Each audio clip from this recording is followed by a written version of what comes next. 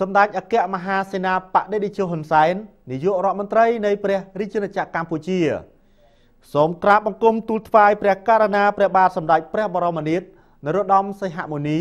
ព្រះមហាក្សត្រនៃព្រះរាជាណាចក្រកម្ពុជាព្រះករណាជាអម្ចាស់ជីវិតលើត្បូងជាទីសក្ការៈទូលព្រះបង្គំជាខ្ញុំបានទទួលរួចហើយនៅព្រះរាជសាររបស់ព្រះអង្គចុះថ្ងៃទី12ខែកញ្ញាឆ្នាំ2013 អញ្ជើញទូលព្រះបង្គំជាខ្ញុំចូលរួមប្រជុំក្រោមព្រះរាជាធិបតីភាពរបស់ព្រះអង្គដើម្បីដោះស្រាយបញ្ហាប្រទេសជាតិជាមួយថ្នាក់ដឹកនាំកម្ពុជាគណៈបកសង្គ្រោះជាតិនៅថ្ងៃសៅរ៍ទី14ខែកញ្ញាឆ្នាំ2013ទូលព្រះបង្គំជាខ្ញុំនឹងដឹកនាំសហការីចំនួន2រូបគឺឯកឧត្តមសាយឈុំនិងឯកឧត្តមសខេងចូលរួមប្រជុំតាមការអញ្ជើញរបស់ព្រះអង្គ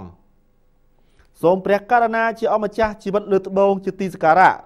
ទ្រង់ព្រះមេត្តាទទួលនៅភក្តីភាពនិងការគោរពដ៏ខ្ពង់ខ្ពស់បំផុតពីទូលព្រះបង្គំជាខ្ញុំក្រាបបង្គំទូលថ្វាយនៅរាជធានីភ្នំពេញថ្ងៃទី12ខែកញ្ញាឆ្នាំ2013ហត្ថលេខាហ៊ុនសែន